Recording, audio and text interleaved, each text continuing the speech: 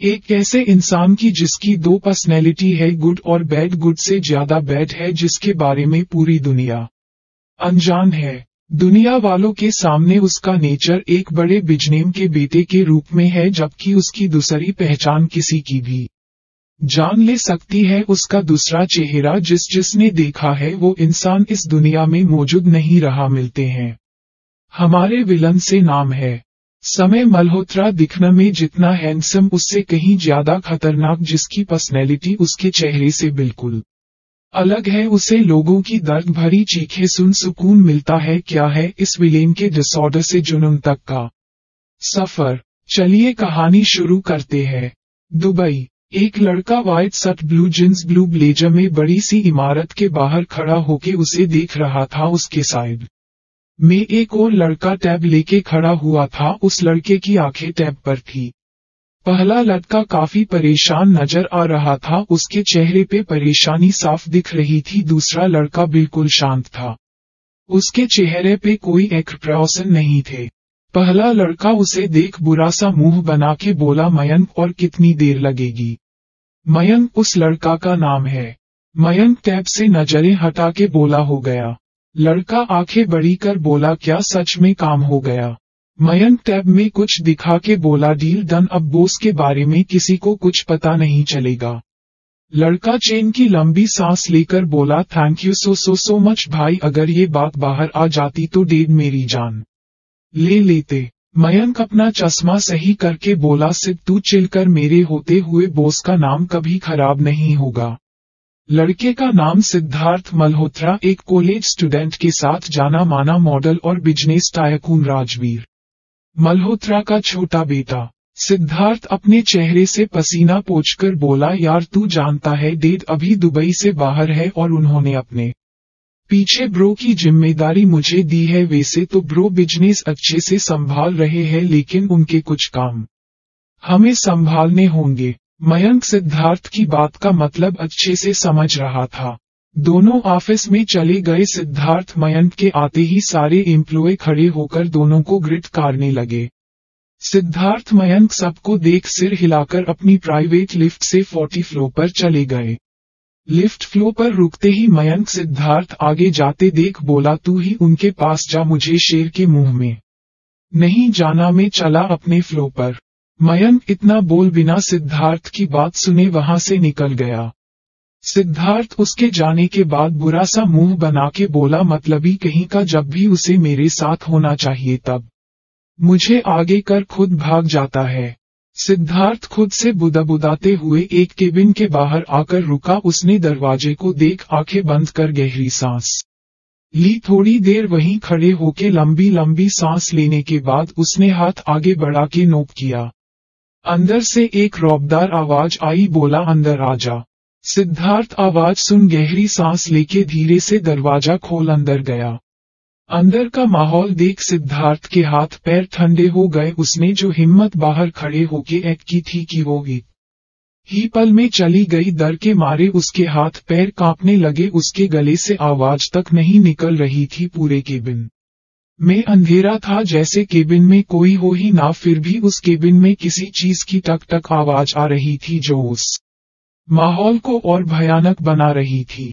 सिद्धार्थ अपनी घबराई हुई आवाज़ में हिम्मत कर बोला, ब्रो, उस अंधेरे को चीरती हुई फिर से वही आवाज़ आई, बोला, स्विच ऑन. आदमी के बोलते ही पूरे केबिन की लाइट ऑन हो गई। रोशनी होते ही सिद्धार्थ ने एक पल के लिए अपनी आँखें बंद कर ली, दोबारा धीरे से आँखें खोल उसने पूरे केबिन को देखा। पूरा केबिन ब्लैक चीज़ों से बनाया गया था, जहाँ की हर चीज़ ब्लैक थी। टेबल पर दे चेयर, सोफे, पेंटिंग, मिरर, खिड़कियाँ, दरवाजे। सिद्धार्थ सारी चीज़ों को पहले भी कई बार देख चुका था, फिर भी वो जब जब यहाँ आता था, उसे उतना ही डर लगता था जितना अब लग रहा है वो अंदर से आज भी डरा हुआ था। एक आदमी ब्लैक सूट में एक बड़ी सी चेयर पर बैठा हुआ था, उसके हाथों में एक चाकू था जिससे वो अपने टेबल पर रखे हाथ को उंगली के बिच टेप कर रहा था। सिद्धार्थ ये देखकर बोला ब्रो लग जाएगी। आदमी और तेज टेप करते हुए बोला, लगने से किसे डर लगता है मेरे छोटे भाई? सिद्धार्थ अपने भाई की बात सुन गहरी सांस लेके जाके उसके सामने रखी चेयर पर बैठ के बोला, ब्रो, आपका काम हो गया। आदमी चाकू को सामने रखे, सेब में डाल के शैतानी हँसी हंस के बोला, वो तो होना ही था। सिद्धार्थ उसकी हँसी सुन मुँह बना के बोला, ब्रो, आप हंस रहे हो, लेकिन मेरी जान निकलने वाली थी, आपको पता। है वो लड़की ऑलमोस्ट पुलिस स्टेशन पहुँच गई थी। अगर हमारे आदमी टाइम पर उसे नहीं गायब करते तो पता नहीं। क्या हो जाता? आदमी अपनी हँसी रोक के कहा बोला, कुछ नहीं होता छोटे, अगर उसने स्टेशन में कदम रख भी दिया होता तो क्या होता होगा? वही जो समय मल्होत्रा चाहेगा। किसी में इतनी हिम्मत नहीं जो एसएम के खिलाफ रिपोर्ट लिख सके, ये मेरी दुनिया है और यहाँ का हीरो भी मैं हूँ और विलेन भी मेरा कोई कुछ नहीं बिगाड़ सकता। सिद्धार्थ अपने भाई की बात सुन गहरी सांस लेते हुए बोला, आप और आपकी साइको टाइप बातें ना मुझे समझ आती। है और ना कभी आने वाली है। चलो वो सब छोरों में यहाँ आपको ये बताने आया था कि मेरी आज सगाई है और डैड ने कहा है, आप सारी तैयारी करोगे। समय मल्होत्रा, राजवीर मल्होत्रा का बड़ा बेटा और हमारी कहानी का हीरो और विलन विलन क्यों कहा वो तो हीरोइन के आने पर पता चल ही जाएगा, इसके बारे में आपको आगे पता चलेगा। समय सिद्धार्थ की सगाई वाली बात सुन अपनी रोलेक्स घड़ी में टाइम देख बोला, सारी तैयारी हो जाएगी, अब तुम जा सकते हो। सिद्धार्थ समय की बात सुन मुँह बना के बोला, मैं अकेले कहीं नहीं जा रहा, आप भी मेरे साथ चलोगे और इसके आगे मैं कुछ सुनूँगा नहीं, आपको चलना ही होगा। ये आपके छोटे भाई का सगाई का गिफ्ट समझ के दे दो ब्रो आपके आगे। हाथ जोड़ता हूँ, पैर पड़ता हूँ।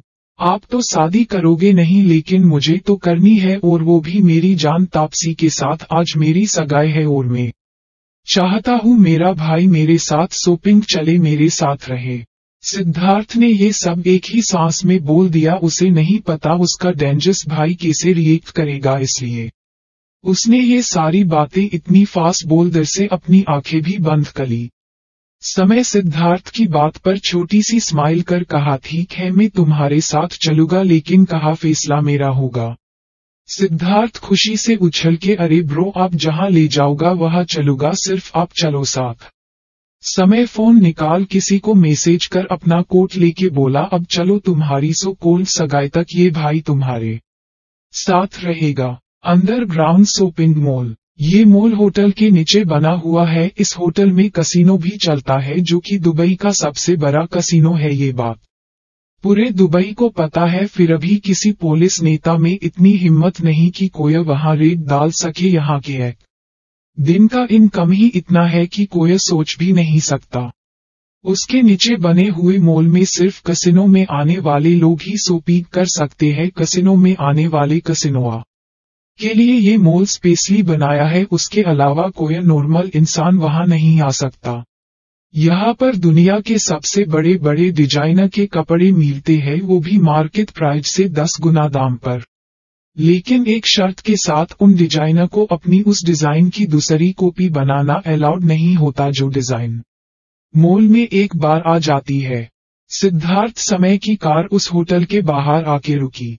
सिद्धार्थ के साथ उसका दोस्त मयंक भी था। सिद्धार्थ कार से बाहर आके होटल को देख सोकद होके बोला, ब्रो, हम यहाँ क्यों आए हैं? यहाँ के मॉल में हम देसे बिजनेसमैन मॉडल नहीं जा सकते। समय अपनी आँखों पर गोगलस लगा के उसे कार से बाहर उतरने को कहा। समय के पीछे सिद्धार्थ भी का से बाहर निकला। मयंक भी होटल को देख हैरान था। मयंक सिद्धार्थ के पास जाके अबे यार बोस हमें यहाँ क्यों लेके आए हैं? उनको पता नहीं है क्या यहाँ नॉर्मल लोगों का आना मना है। सिद्धार्थ कंफ्यूज होके मेरे बाप में खुद हैरान हूँ, भाई मुझे यहाँ क्यों लेके आए हैं? होटल का मैनेजर भागते हुए बाहर आके समय को देख अपना सिर झुका के बोला, बोस, आप यहाँ कुछ काम था तो फ़ोन कर देते, आपको यहाँ तक आना नहीं पड़ता, मैं सब संभाल लेता। मैनेजर की बात सुन सिद्धार्थ मयंक दबल सोकत हो गए। समय से पहले किसी और ने आते हुए बोला, बोस को अपने होटल में आने से पहले तुझ जैसे आदमी के परमिशन की। कब से ज़रूरत होने लगी? मैनेजर ने पीछे से एक आदमी ब्लैक शर्ट जींस में चल के आगे आया। उसने सबसे पहले समय को देख सर झुकाया। उसके बाद मैनेजर को देख बोला, जाके अपना काम कर वरना। उसकी आधी बात ही काफ़ी थी मैनेजर के पसीने चुराने के लिए मैनेजर तुरंत वहाँ से भाग गया। समय उस आदमी को देख हिवल स्माइल कर बोला, शांत राघव, शांत, अभी तक उसने तेरा गुस्सा नहीं देखा इसलिए इस तरह बात कर रहा था। राघव उस आदमी का नाम है और वो समय के सबसे खास आदमी में से एक है। समय खुद के बाद अगर किसी पर भरोसा करता है तो वो है राघव। राघव समय की बात सुन अपना सिर हिला के सोरी बोस आज के बाद वो इंसान आपकी नज़रों में नहीं आएगा। समय सिटी बजाते हुए व्यंग्य भरी हँसी हँसते हुए बोला, उफ, ये बातें कितनी अजीब चीज़ होती है। अगर प्यार से निकले तो सामने वालों का दिल चुरा लेती है। अगर गुस्से से निकले तो नफरत देती है। और अगर हम देसे इंसानों के सामने निकले तो हा हा हा हा। समय की पेचीदा बातें और उसकी भयानक हैसी सुन सिद्धार्थ मयंक की तो मानो सांस ही अटक गई सिद्धार्थ को। पता नहीं था उसका भाई एक बिजनेसमैन के अलावा ऐसा कुछ भी करता है।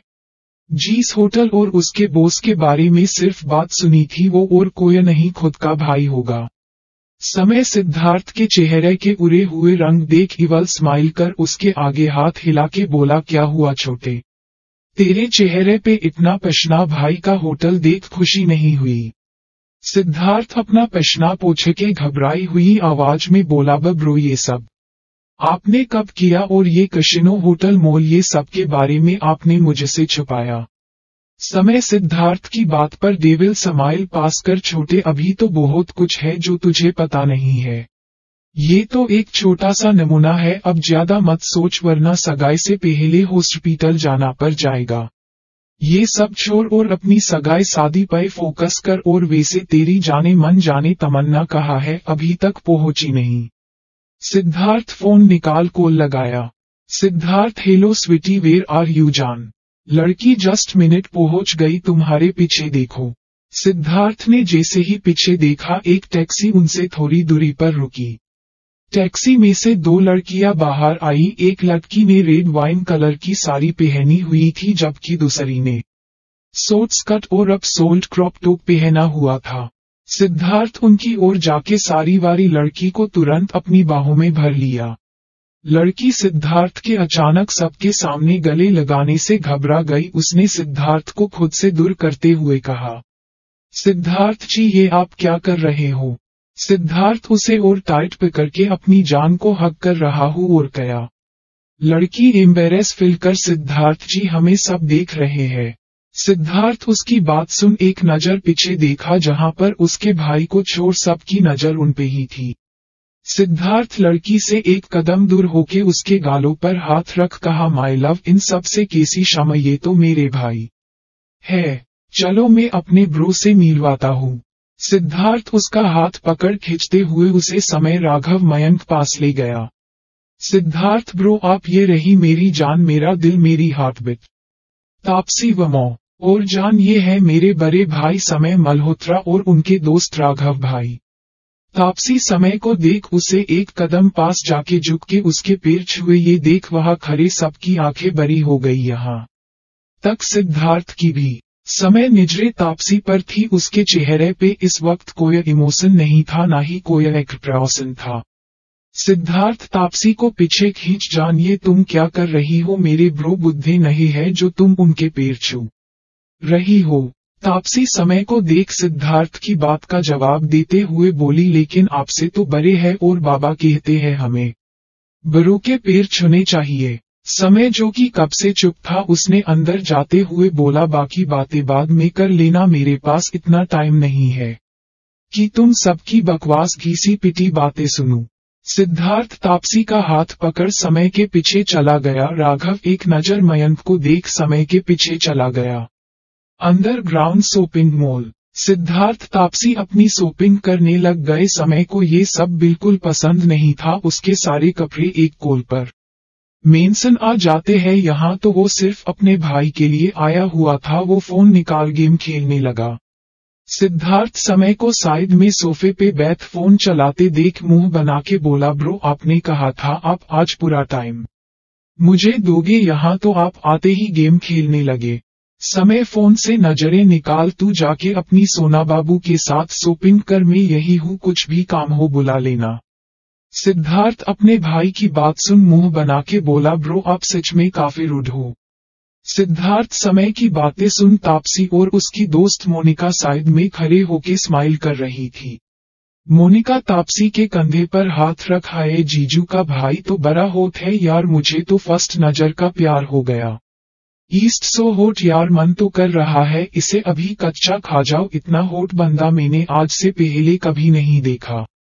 तापसी अपनी दोस्त की चीप बातें सुन मुँह बना के बोली, छी, तुम कितनी गंदी बात करती हो, देखो मानू तुझे जो भी बात कहनी है, अपने जीजू से कर, मुझे ऐसी बात मत सिखा, तुझे पता है, मुझे ऐसी बात बिल्कुल पसंद नहीं। तापसी इतना बोल वहाँ से सिद्धार्थ के पास आके बोली, सुनिए, मुझे एक ड्रेस ट्राई करनी है, आप मुझे ट्रायल रूम दिखा दोगे। सिद्धार्थ उसकी स्वीटी सी वॉइस सुन स्माइल कर कहा, स्वीटी ट्रायल रूम वहाँ पे है, तुम जाके ट्राई करो मैं। तब तक कुछ और देख लू। किसी भी चीज़ की ज़रूरत हो, समय भाई को आवाज़ लगा देना, वो यहीं पर है, मैं थोड़ा दूर हूँ। तापसी एक नज़र समय को देख ट्रायल रूम में चली गई। सिद्धार्थ भी वहाँ से मयंक के पास दूसरी साइड चला गया। समय फिर से अपनी गेम खेलने में बिज़ी हो गया। उसके पास खड़ा राघव बोला, बोस, आपके लिए मैं कुछ कपड़े देख लूँ। समय बिना ऊपर देखे, कलर और चॉइस तुझे पता है। राघव उसके कहने का मतलब समझ गया। उसने तुरंत सिर हिला के हमें जवाब दिया। समय बिना देखे गुद सो गो। समय पूरी तरह गेम में बिज़ी हो गया। ऐसे ही 15 मिनट बीत गए। तापसी जो कि ट्रायल रूम में थी, उसने धीरे से आवाज़ लगाई। सुनिए सुनिए। समय जो कि उसे थोड़ी ही दूरी पर सोफे पे बैठा हुआ था, उसने तापसी की मीठी सी आवाज़ सुन सर टहरा कर ट्रायल रूम की ओर देखा। समय अपनी एरोगेंट वॉइस में बोलो। तापसी उसकी तेज आवाज़ सुन पहले घबराई, लेकिन उसके पास दूसरा कोई रास्ता नहीं था, इसलिए उसने हिम्मत कर कहा का क्या आप किसी लेडी को बुला दोगे? समय बिना एक प्रयासन के तापसी, वो मुझे कुछ काम है। तापसी जो कि ट्रायल रूम में थी, उसने धीरे से आवाज़ लगाई। सुनिए सुनिए। समय जो कि उसे थोड़ी ही दूरी पर सोफे पे बैठा हुआ था, उसने तापसी की मीठी सी आवाज़ सुन सर टहरा कर ट्रायल रूम की ओर देखा। समय अपनी एरोगेंट वॉइस में बोलो। तापसी उसकी तेज आवाज़ सुन पहले घबराई, लेकिन उसके पास दूसरा कोई रास्ता नहीं था, इसलिए उसने हिम्मत कर कहा, का, क्या आप किसी लेडी को बुला दोगे? समय बिना एक प्रयासन के तापसी, वो मुझे कुछ काम है। समय अपने आसपास एक नज़र देख बोला, यहाँ मेरे अलावा कोई नहीं है तो जो भी हेल्प चाहिए मुझसे बोलो। तापसी को समय से हेल्प मांगने से क्षमा आ रही थी, उसे समझ नहीं आ रहा था, वो बोले तो क्या बोले? समय उसे चुप देख सोफे से खड़ा होके ट्रायल रूम के दरवाजे के पास जाके बोला, अब बोलोगी, क्या हेल्प चाहिए? तुम्हारे कारण मैंने अपनी गेम आधी छोड़ दी, अब जल्दी बोलो। तापसी उसकी आवाज़ इतने पास से सुन घबरा के दरवाजे से पीछे हो गई, इस बीच उसका पैर अपने पहने हुए। लहंगे में फंस गया और वो ज़ोर से नीचे गिर गई, गिरते ही उसके मुँह से चिख निकल गई। गिरने की आवाज़ सुन समय बिना सोचे समझे ट्रायल रूम का दरवाज़ा खोल अंदर आ गया।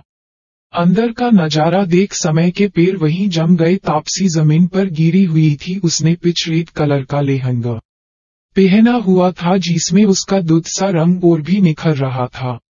उसने पहने हुए ब्लाउज उसके कंधों से हल्का सा नीचे उतर चुका था। जीन्स कारण उसके क्लीवेज हल्के हल्के दिख रहे थे।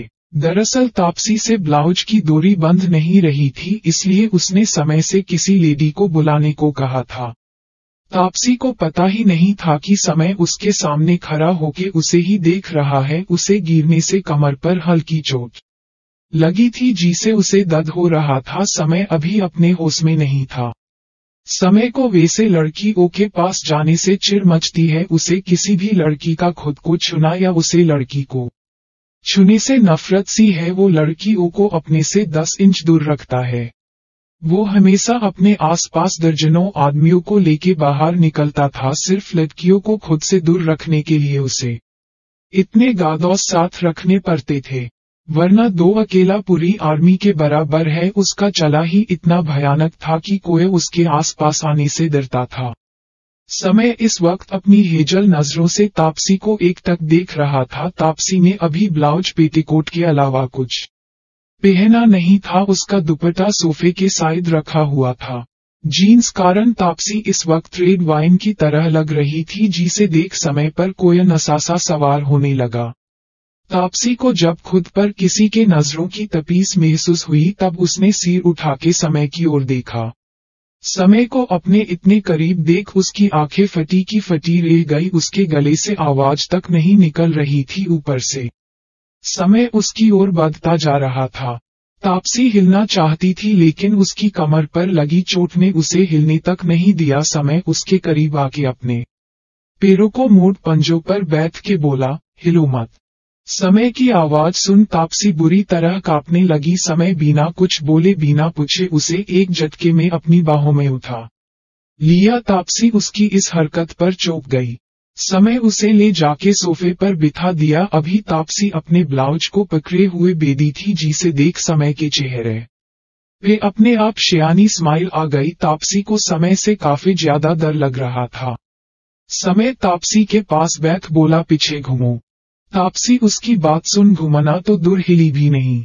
समय को अपनी बात दोहराना बिल्कुल पसंद नहीं। उसने जब देखा तापसी उसकी बात नहीं सुन रही तो उसे गुस्सा आने लगा। समय अपनी गर्दन पर हाथ फिरा के गुस्से को कंट्रोल करने की कोशिश करने लगा।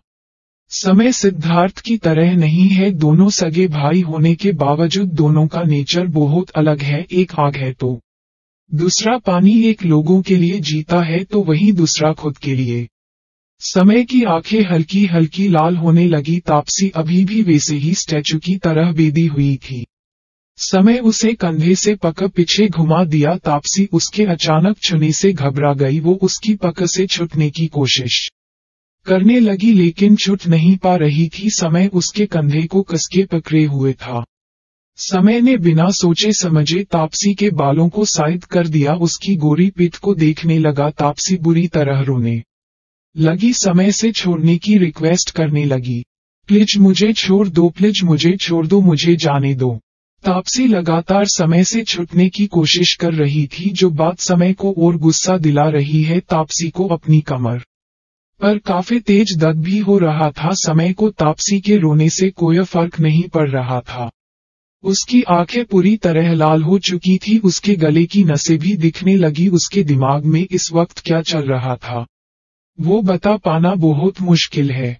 समय ने अचानक तापसी के कमर पर अपना हाथ रख दिया जिसे तापसी की एक नाक चिख निकल गई, आह।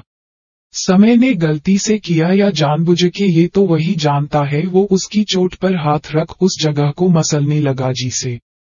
तापसी बुरी तरह दर्द में तड़पने लगी, उसकी नाक चिखे पूरे ट्रायल रूम में गुंजने लगी। तापसी रोते हुए देसे तेसे समय से रिक्वेस्ट करते हुए बोली, आह प्लीज़ मुझे छोड़ दो, मुझे बहुत दर्द। हो रहा है, प्लिज छोड़ दो। आह, प्लिज प्लिज छोड़ दो। उसकी आँखों से पानी की तरह आँसू निकल रहे थे। उसका चेहरा रोने से लाल हो चुका था। समय उसके कानों के पास झुक के बोला, दर्द हो रहा है। तापसी रोते हुए अपना सरहा में हिला के बहुत दर्द हो रहा है। छोड़ दो पपलिज समय अपना हाथ उसकी चोट से हटा के बोला, शह, चुप, बिल्कुल चुप। ये दर्द तुम्हारी सजा है, बच्ची मेरी बात को इग्नोर करने की। आज के बाद मेरी किसी भी बात को इग्नोर करने की गलती से भी गलती की तो इसे बुरी सजा दुगा समझी। तापसी उसकी धमकी सुन पूरी तरह कांपने लगी, वो सुबकते हुए हा में सील हिलाने लगी। समय उसे पलट, उसके चेहरे को हाथ से पकड़, जुनूनी भरे अंदाज में मुँह से बोल। तापसी, हा, समय अपना हाथ उसकी चोट से हटा के बोला शह चुप, बिल्कुल चुप, ये दग तुम्हारी सजा है, बच्ची मेरी बात को। इग्नोर करने की। आज के बाद मेरी किसी भी बात को इग्नोर करने की गलती से भी गलती की तो इसे बुरी सजा दुगा, समझी।